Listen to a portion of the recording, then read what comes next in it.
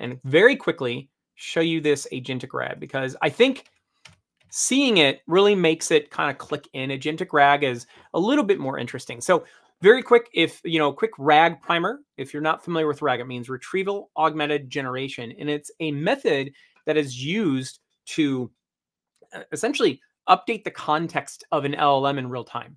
Because what happens, you know, the, the LLMs, large language models, have the knowledge they're trained on, right? But unless you have tool use or an agent or something like that, or maybe let's say you have um, domain knowledge, business domain knowledge that the LLMs don't have, there's going to be some information that they're missing right? In this particular example, what we did is we built an agentic RAG setup that uh, uses um, a huge data set that we got from LinkedIn as a LinkedIn job posting data set, right? Similar to what we've seen in our agentic flow so far, right?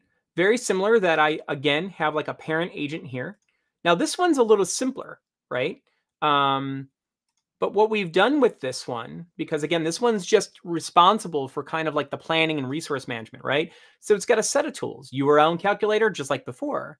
But just like we saw, it has an agent as a tool.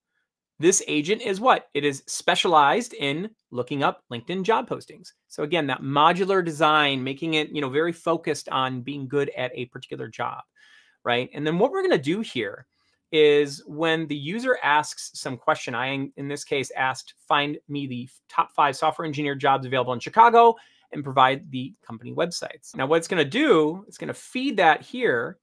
In this case, I'm using the AstraDB component. It's one of the vector stores, right? So I'm using that component.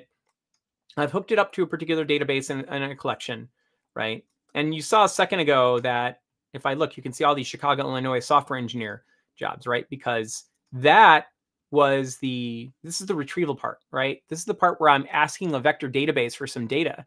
The rest of this is me just massaging the data.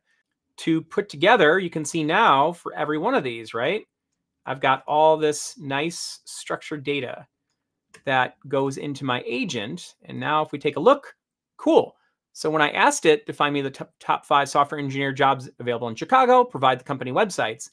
Well, look at what it did here it gave me that LinkedIn job URL. You can see, yeah, you can see this one went off and get got the uh, use the URL component most likely to kind of find those, right? You can kind of see what it's doing as you as you open it up. Um, so this is a case where this information that it's getting, it didn't just get this from the web, it got this from the LinkedIn job postings, right? That's where it got this kind of information from. Um, you know, so that's just a basic example of using agentic RAG, right? I know it's easier if you have the flow. Like I said, I think we can put those. I, I'm happy to include the flow uh, in the follow up email.